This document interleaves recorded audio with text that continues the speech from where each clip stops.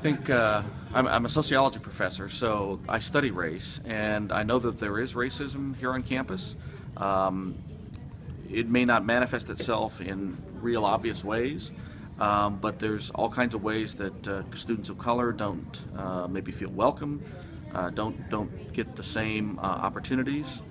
Uh, so that the the racism out in our society is gets reflected here in, in our university.